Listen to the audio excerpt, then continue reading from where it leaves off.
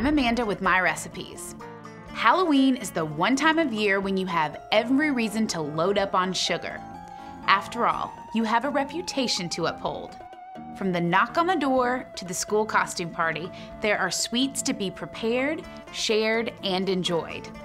This year, why not leave the bagged candies on the shelves and try these five Halloween treats? White meringue ghosts. The meringue in this recipe is simple to make. Pipe your mixture into haunted shapes with chocolate mini morsels added for eyes. Your ghostly creations can be any way you want big or small, squiggly or straight, scary or friendly chocolate candy corn truffles. In this recipe, chocolate is combined with an orange liqueur and orange marmalade, and then top with a candy corn to add a festive sweet touch. Candied apples. There are some people who bob for apples, and there are some who prefer to dip them in a sweet, sticky concoction. First, you'll need white dowels for the sticks.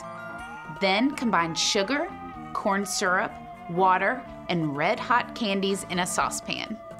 Insert the sticks in the apples, and then dip in your sugary, melty mixture. Let the candy harden and enjoy. Chocolate Ghost Cakes. This recipe is super simple and only requires three store bought ingredients. First, you'll need a package of cream filled chocolate cake squares and a container of white frosting, which you'll microwave until it melts. Place the melted frosting in a plastic bag and pipe any ghostly shape your heart desires on each cake square. Then finish with black decorating gel, perfect for eyes and bow ties. Coconut haystacks. These small chocolate clusters combine melted chocolate with crushed graham crackers and flaky sweetened coconut giving it a crispy, butterfingery consistency. Sprinkle with even more flakes of coconut, and you've created a simple Halloween treat grown-ups and kids will love. Trick or treat your way to myrecipes.com for more hauntingly sweet surprises.